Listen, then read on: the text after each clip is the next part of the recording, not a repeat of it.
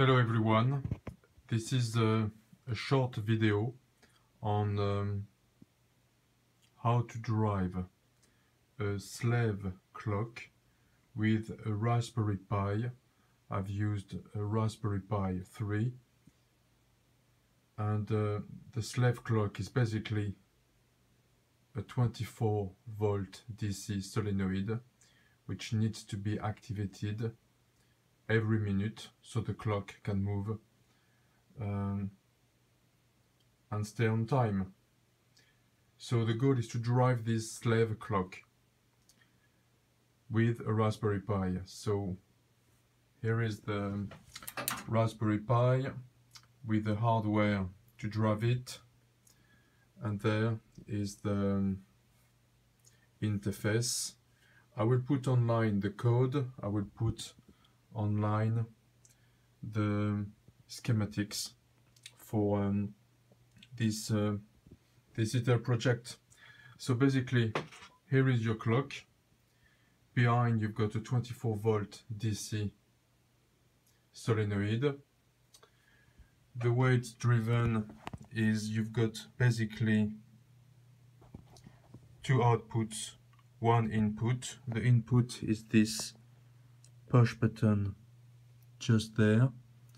The whole idea, when you push on this button, it stops the, the program. So that's the only input.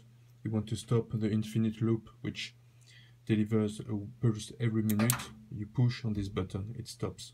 Two outputs, uh, you probably can see it. One is this LED, which flashes when the pulse it sends to this uh, part of the electric diagrams which basically drives this relay once every minute.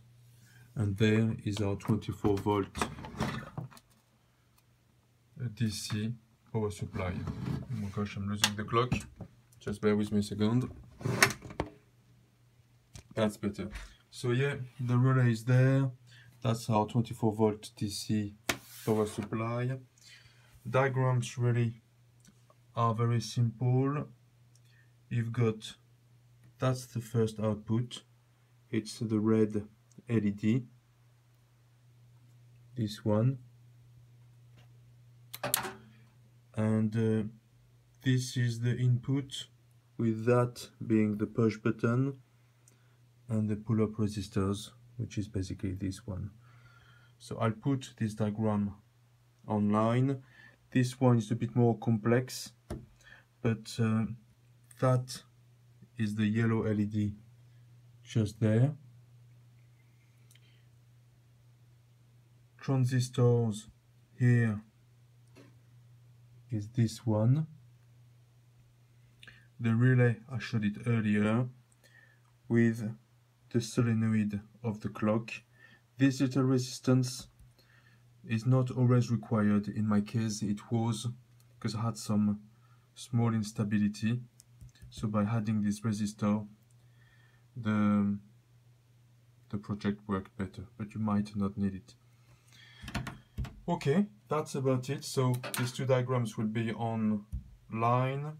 I'm gonna put the code online as well basically the code is made of two parts. Um, you've got one part which delivers uh, a fast a fast pulse every half a second which allows you to set the clock on time. And uh, the other part of the program is an infinite loops which um, generates a pulse every minute, which closes the relay over there, and that makes the clock move forward one step every minute. Uh, there is also a DS3231 uh, auxiliary clock. Uh, that's useful if you want your Raspberry Pi to um, stay on time even when um, the power is switched off that's it. I think I've covered everything. Hope uh, you will find that useful. I guess it's more the diagrams and the code you will need. Everything will be added online uh, with the YouTube video. Thank you very much. Bye.